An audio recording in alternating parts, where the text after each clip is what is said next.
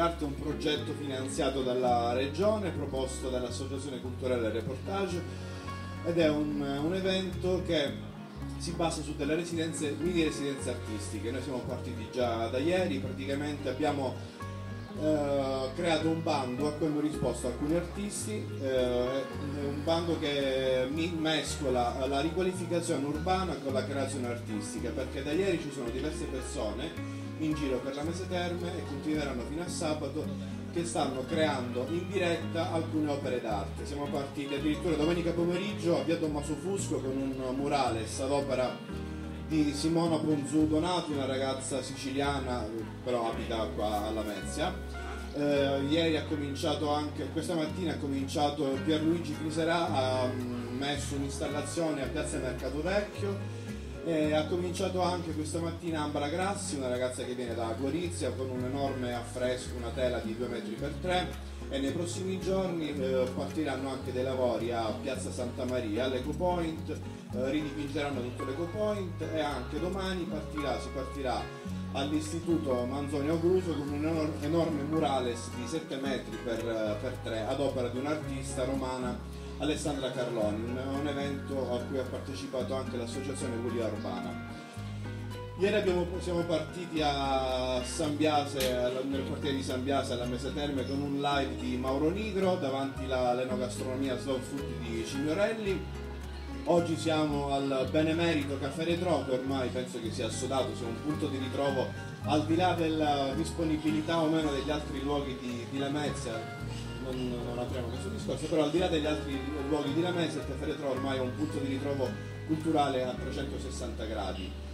Oggi parliamo di Dante perché l'associazione Strade Perdute con il patrocinio del, del MIBAC e del um, Comitato Nazionale per la celebrazione dei 700 anni di Dante ha creato, sempre con i ragazzi dell'Istituto Manzonio Gruso, un fumetto eh, ispirato alla Divina Commedia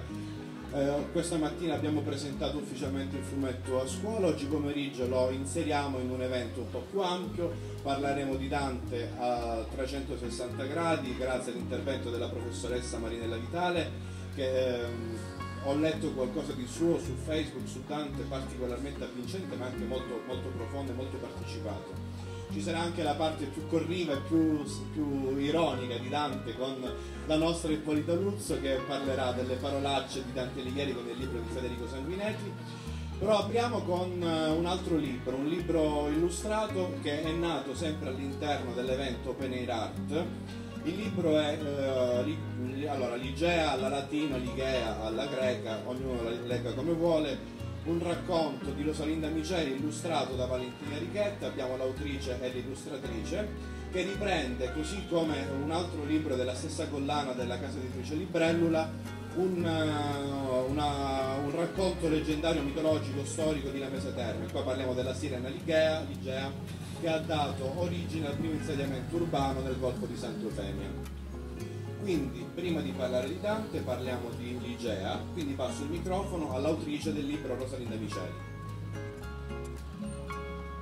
Buonasera a tutti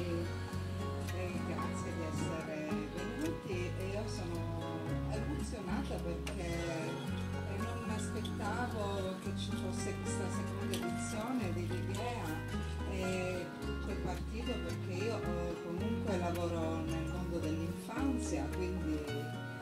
eh, questo mito eh, mi ha preso perché le fate, eh, le sirene appunto sono sentinelle della natura e a me sta a cuore tantissimo eh, questo aspetto. E poi è un omaggio anche a questa città, eh, io non sono la Metina,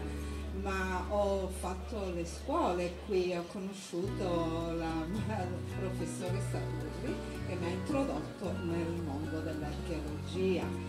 E quindi questa, questa città mi ha dato tanto E, e questo secondo progetto, devo dire, mi ha entusiasmato perché eh, Valentina eh, ha saputo cogliere l'aspetto proprio eh, eh, delle immagini che colpiscono il mondo dell'infanzia, quindi eh, ben venga quest'altra opportunità, eh, la devo ringraziare tantissimo perché penso che ai miei bambini piacerà tanto eh, e spero che susciti in loro questa curiosità eh, delle origini della nostra civiltà. E, allora, ringrazio per essere venuti, anche se eh, non, non, siete il,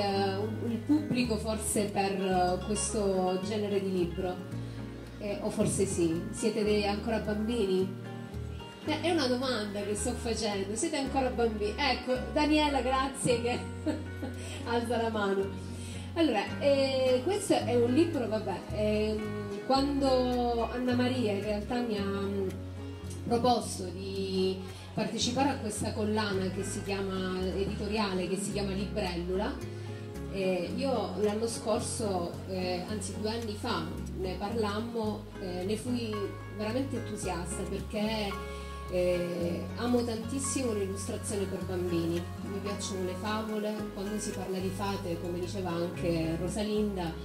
eh, si entra veramente in un mondo fantastico che fa parte appunto non soltanto dei bambini, ecco avevo fatto la battuta io, non soltanto dei bambini ma un, un po' di tutti noi, eh, da quando nasciamo fino eh, alla nostra amata vecchiaia. E, ehm, e quindi ehm, io ho iniziato questo percorso l'anno scorso con un'altra storia, che è quella di, di Gelsomina e le fate del castello, eh, una storia che ha scritto poi Anna Maria eh, Persico e quando mi è stato proposto anche di eh, partecipare all'illustrazione di Licea ne sono stata contentissima. Tra l'altro il libro di Rosalinda non lo conoscevo, Anna Maria mi ha portato il, la prima edizione, ho detto oh, bellissimo